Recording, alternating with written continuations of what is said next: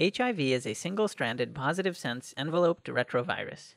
Each virion is made up of a lipid bilayer with a capsid inside it containing two copies of an RNA genome, as well as reverse transcriptase, protease, and integrase.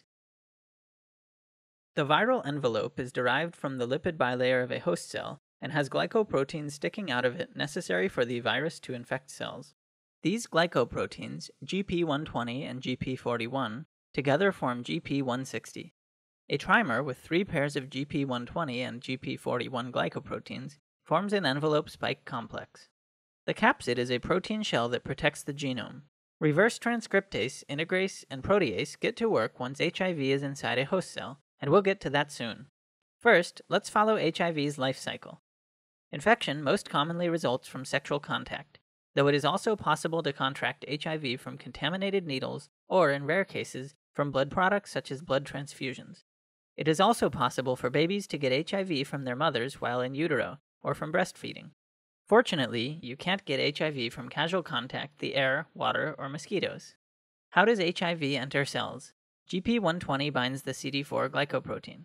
This triggers a conformational change that exposes binding sites for a coreceptor, either CCR5 or CXCR4.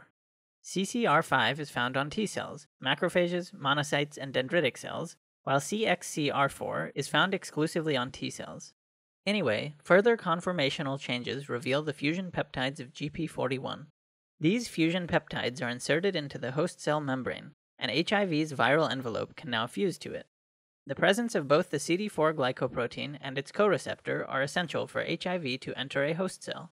Since almost all HIV 1 isolates are successfully transmitted using the CCR5 coreceptor, People with homozygous mutations in their CCR5 are basically immune to HIV, and even heterozygous mutations can slow the infection's progression.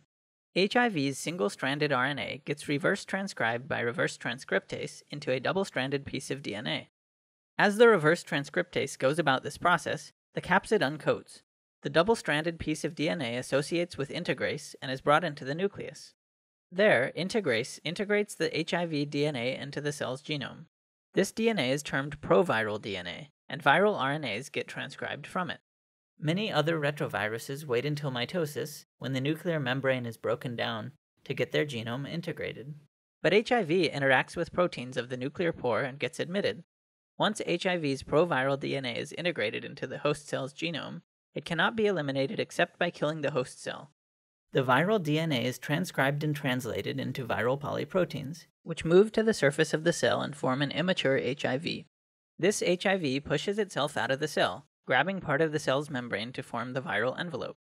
Protease comes in and cleaves the polyproteins at nine cleavage sites to create mature protein components. And now we have a new HIV virion. If you like this video, please like and subscribe. It would help me make more videos. And make sure to comment with any topics you'd like me to cover in future videos. Also, it would be really nice if you could support me on Patreon.